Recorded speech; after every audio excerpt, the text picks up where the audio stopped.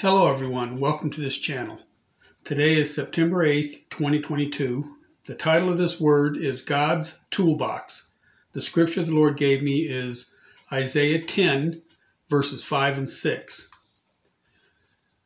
O Assyrian, the rod of mine anger, and the staff in their hand is mine indignation. I will send him against an hypocritical nation, and against the people of my wrath will I give him a charge to take the spoil and to take the prey and to tread them down like the mire of the streets. And this is the word.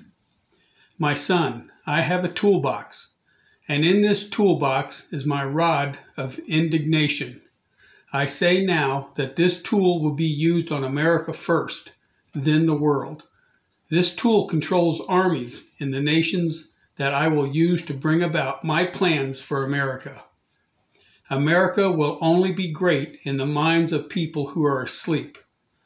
As my tool moves in from the north, no one will even see them coming.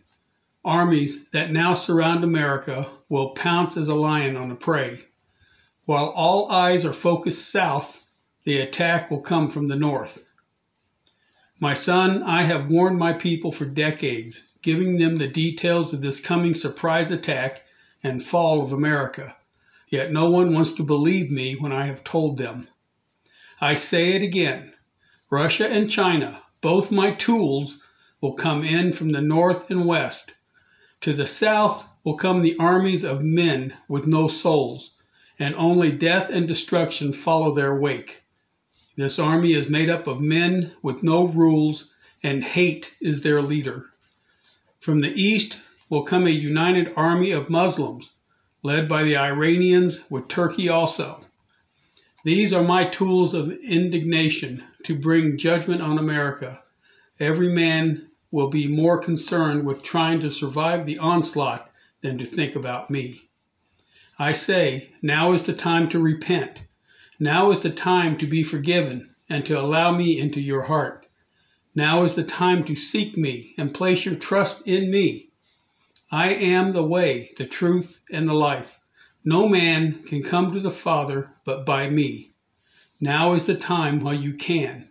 Soon I will be but an afterthought if you don't choose now. My son, continue in prayer for this lost nation, for the prayers of my remnant are all that are holding back the coming onslaught. But prayers will not hold back my word from being fulfilled, for all things must come to pass as I have recorded in my word. My remnant, continue your prayers, continue in my word. I am coming soon with my toolbox. How many will be ready? Amen. Lord Jesus. As always, take this word to the Lord in prayer for confirmation. Thank you for subscribing to this channel. Please like and share on social media if led. The transcript for this word is posted in the description box. Thank you and God bless you. Bye for now.